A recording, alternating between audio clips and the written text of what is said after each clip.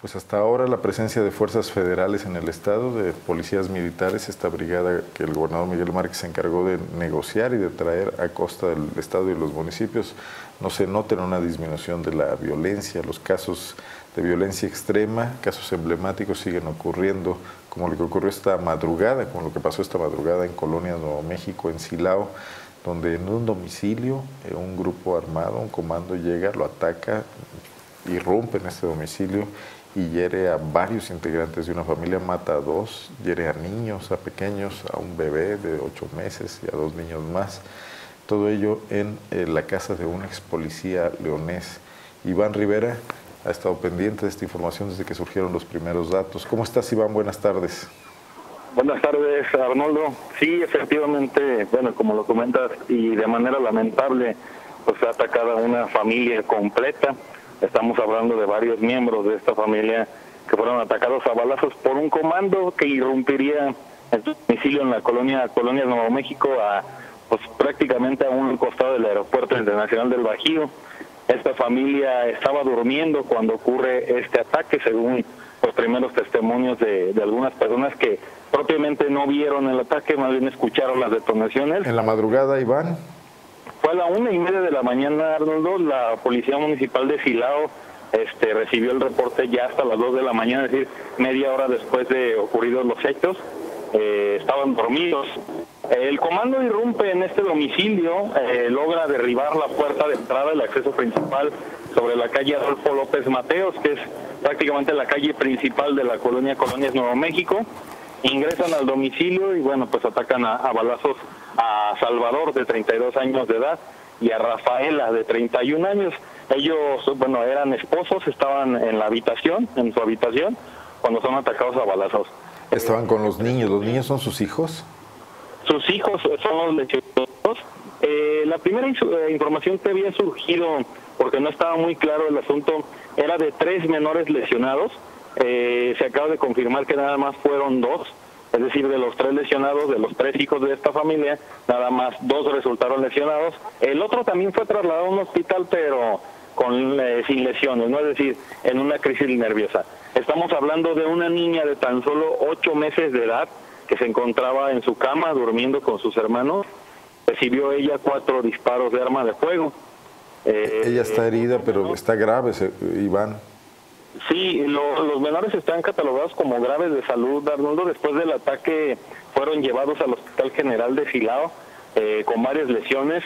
Eh, Ashley, de, ocho meses, es el nombre de esta menor, eh, resultó con disparos en ambas piernas, un disparo en el tórax, es decir, en el pecho, y otro más pues en la, en la clavícula izquierda, a la altura del hombro.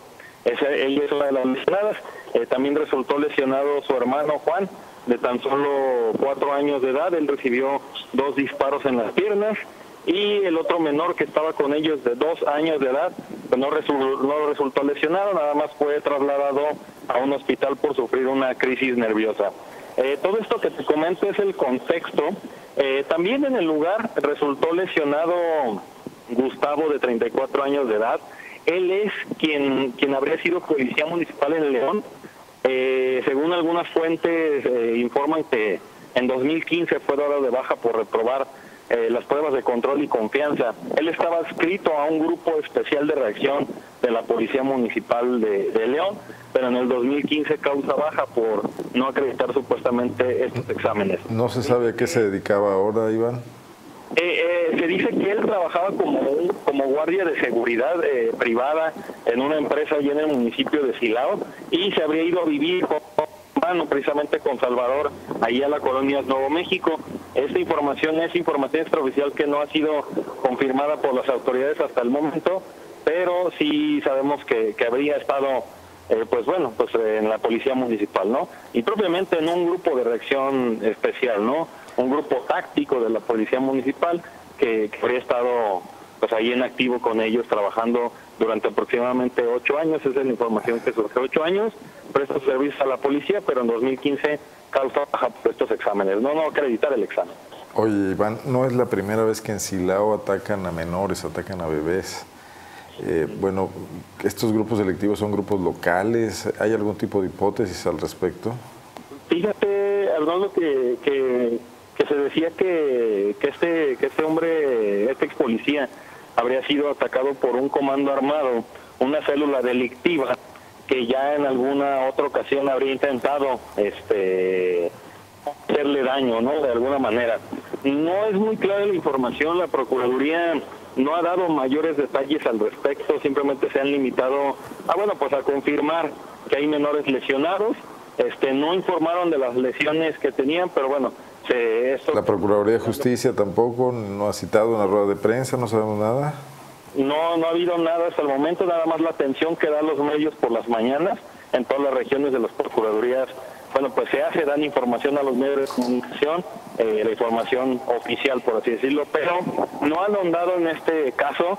En Silao, lamentablemente, hubo algunos otros dos casos, tanto el año pasado como este año, eh, donde veíamos ya algunas autoridades del municipio de Silao, pues culpando a las actividades delictivas de los padres por estos ataques, pero pues ni con la llegada de la, del mando militar, de la policía militar, pues han logrado haber detenciones.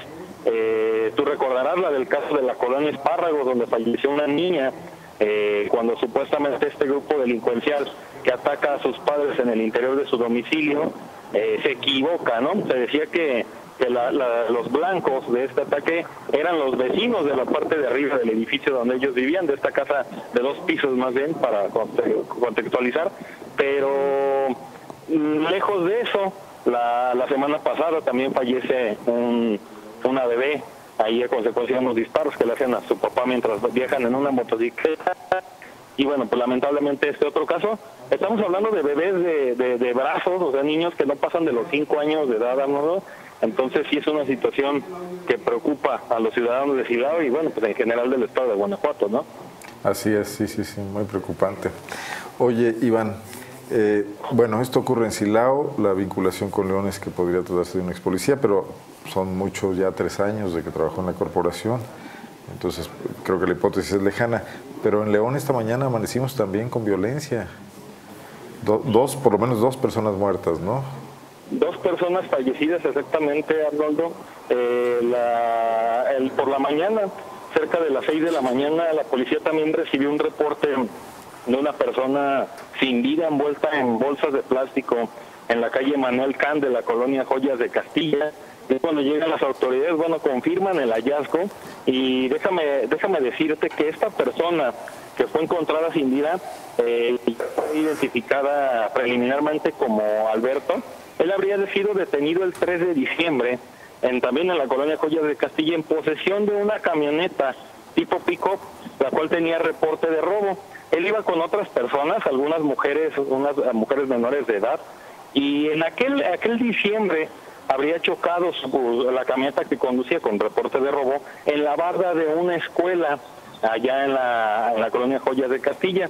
Eh, lo que se sabe hasta el momento, Arnoldo, es que esta persona fallecida del día de hoy podría ser aquella que fue detenida en aquella ocasión y esa esa patrulla, si tú lo, si tú lo recuerdas más bien, esa camioneta pertenecía, estaba adscrita a la Secretaría de Seguridad Pública de León estaba adscrita al manejo de un comandante, fue robada precisamente allá en la, en la colonia La Martinica. Nada más que la Secretaría de Seguridad Pública, extrañamente, no había levantado una denuncia por el robo, por lo que estos sujetos, aunque fueron detenidos, no enfrentaron un proceso como tal, ya que no había una denuncia.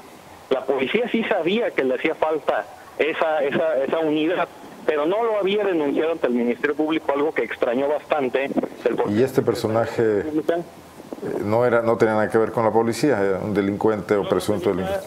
Un, presunto delincuente, eh, algunos vecinos de ahí de la colonia Colla de Castilla por la mañana este, señalaban que, que, ya lo habían identificado como uno de los principales ladrones de la zona, tanto ingresaba a casas a robar como robaba automóviles eh, digo, podemos citarlo en este caso del 3 de diciembre, allá también con este con esta camioneta robada, y pues hoy amanece muerto, ¿no? Amanece muerto a la, la, ejecutado. vecinos, ejecutado, aparentemente tiene varios disparos de arma de fuego, lo envolvieron en una, en una serie de bolsas y lo dejaron ahí en un lote baldío cerca de unos árboles, cerca de varios arbustos. Gente que salía ya muy temprano a realizar sus labores cotidianas, pues se da cuenta y reporta este suceso al 911, ¿no? Y, bueno, pues ahí se desprende esta, esta parte de esta información. Eh, nos trasladamos también a las inmediaciones del Tajo a Santana, Boulevard Aeropuerto, en un rancho conocido como San José Arnoldo, también fue asesinado un hombre de 70 años de edad. Jorge de 70 años tripulaba una camioneta cuando sujetos armados hacen detonaciones de arma de fuego en su contra y pues bueno, logran quitarle la vida de al menos tres disparos. El más visible de ellos, bueno, lo recibe en la cabeza.